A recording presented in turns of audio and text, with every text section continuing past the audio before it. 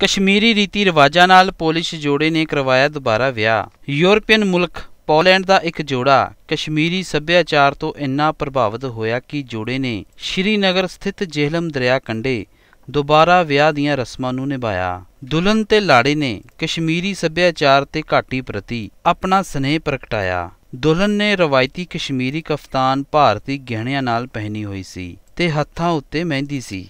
ਉੱਥੇ ਹੀ ਲਾੜੀ ਨੇ 골ਡਨ ਰੰਗ ਦੀ ਸ਼ੇਰਵਾਨੀ ਪਹਿਨੀ ਹੋਈ ਸੀ।